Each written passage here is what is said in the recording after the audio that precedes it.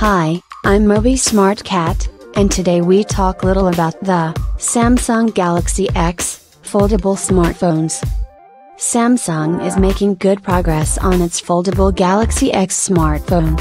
It has been going on and on about Project Valley for well over a year now, but, we can't really say we mind. The idea that foldable display tech is finally here, and almost within end user reach is enough to get any tech enthusiast excited, the long wait being the only real problem. Luckily, it finally looks like Samsung is making actual progress on taking Project Valley out of the lab and into user hands.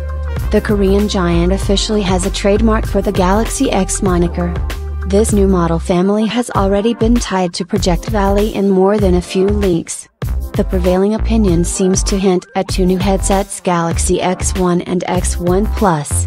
Depending on the initial response to the new tech and the significant form factor revolution it brings with it, we can likely expect wider adoption next year. And if Samsung doesn't come through, LG has already hinted at a pretty similar roadmap on its end. So, one way or another, we will be getting a taste of foldable display tech. That's all for now. For more news, stay tuned. If you like the video, like and subscribe for more. And be sure to leave a comment down below. Bye.